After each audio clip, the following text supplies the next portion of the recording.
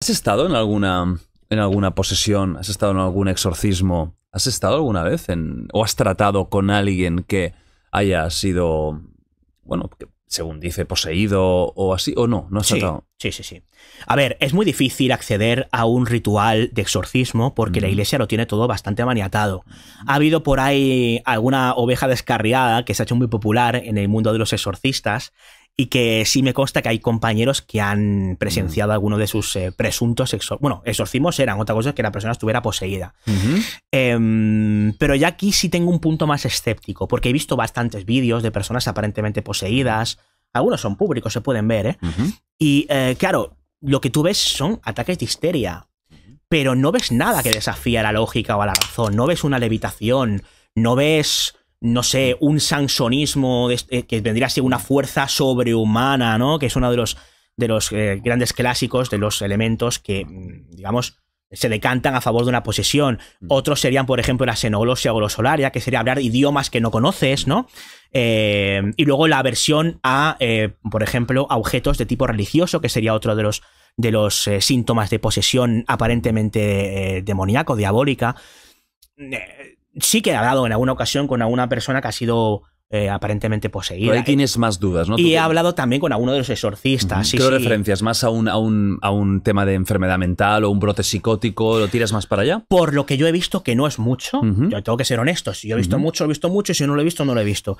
Yo, por lo que he visto que no es mucho, a mí no me parecen fenómenos que tengan una explicación, digamos, realmente compleja o que se puedan considerar inexplicados. Porque inexplicable es una palabra que yo intento evitar, como antes comentaba, ¿no? Lo inexplicable significa que ni tiene explicación ahora, ni lo va a ser nunca. O sea, ni, es, ni tiene explicación en este momento, ni la va a tener nunca. Eso es una falacia. Las cosas pueden ser inexplicadas porque no tienen alguna explicación, pero nosotros no sabemos si la van a tener o no más adelante. ¿no? Entonces, eh, en lo que respecta al tema de las posesiones, me interesa mucho, he leído bastante, hay casos bastante bestias que tú conoces bien, que tienen que ver con la criminología española más que con una cuestión de una aparente posesión. Albaicín, por ejemplo, Almansa, que son casos terroríficos que de lo que te hablan es de la maldad, pero de la maldad real humana, Sí.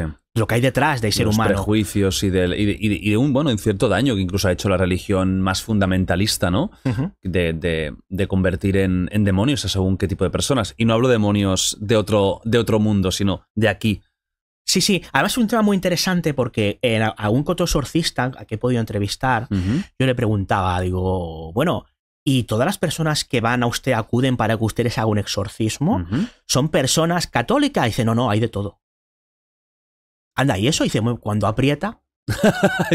¿No? Claro, es, Claro. es curioso esto, ¿no? Entonces, eh, y efectivamente, hay exorcismos en el islamismo, hay exorcismos en el, protesta- en el protestantismo, hay exorcismos en montones de cultos que poco o nada tienen que ver con el catolicismo.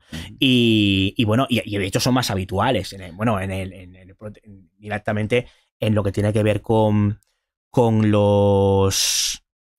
Con los. Ahí no me sale ahora, protestantes, no, los evangélicos. Ah. Con la religión evangélica, cualquier cosa prácticamente que toque mínimamente estas cuestiones ya es algo di- directamente demoníaco.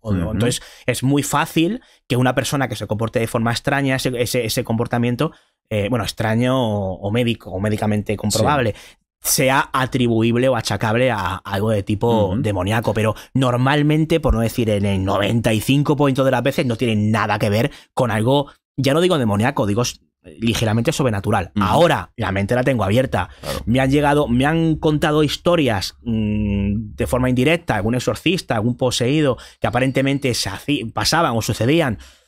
Es posible, mm, yo no lo he presenciado, entonces, eh, pero tampoco he presenciado muchas de las historias que hemos contado, Claro. ¿no? Pero aquí es una opinión personal y subjetiva, ¿eh? Por supuesto. Yo, eh, para un ritual que se presume de exorcismo en el que alguien tiene dentro de sí mismo a una entidad invasora, yo espero algo más, quiero decir, algo que vaya más allá de comportamientos que tienen que ver directamente con la histeria o con otra serie de, de cuestiones que, tienen, que, que están dentro de la psiquiatría, ¿no?